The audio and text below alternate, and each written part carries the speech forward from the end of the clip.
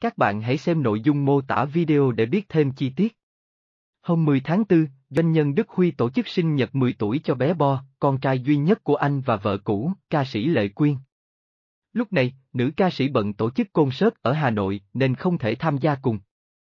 Nam doanh nhân tổ chức tiệc với robot siêu anh hùng đúng sở thích của con. Nhìn con trai hạnh phúc đón tuổi mới, Đức Huy bày tỏ, bà không phải là người hoàn hảo nhưng ba yêu con theo cách hoàn hảo nhất. Đức Huy và Lệ Quyên chính thức đường ai nấy đi vào cuối tháng 10.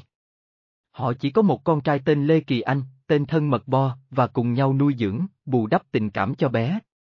Do tính chất công việc Lệ Quyên hay di chuyển, bé Bo thường ở với bố Huy nhiều hơn tại biệt thự ở thành phố Thủ Đức, thành phố Hồ Chí Minh vào dịp Tết Tân Sửu. Theo Đức Huy, Bo muốn ở Sài Gòn đón năm mới cùng anh, thay vì ra Hà Nội cùng mẹ.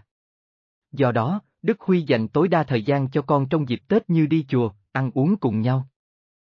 Tranh thủ cuối tuần trước khi đi học trở lại, nam doanh nhân đưa con đi nghỉ dưỡng. Đi chơi gôn, Đức Huy cũng dẫn quý tử đi theo và cho bé làm quen môn thể thao này. Biết con thích bóng rổ, chồng cũ Lệ Quyên đưa con đến sân chơi ngày cuối tuần. Trong mắt anh, Bo chính là tình yêu to bự nhất của cuộc đời mình. Đức Huy thương bé Bo đến cả tối cũng ngủ cùng con. Anh tiết lộ con trai thích được bố trò chuyện mới chịu đi ngủ. Hai bố con bảnh bao đi sự kiện cùng nhau. Đức Huy dí dỏm, ghép đôi, con trai với bé Vivian, ái nữ của Hoa hậu Hà Kiều Anh. Bo cũng có mối quan hệ thân thiết với ba con nhà Kiều Anh do trạc tuổi nhau. Hoàng Nam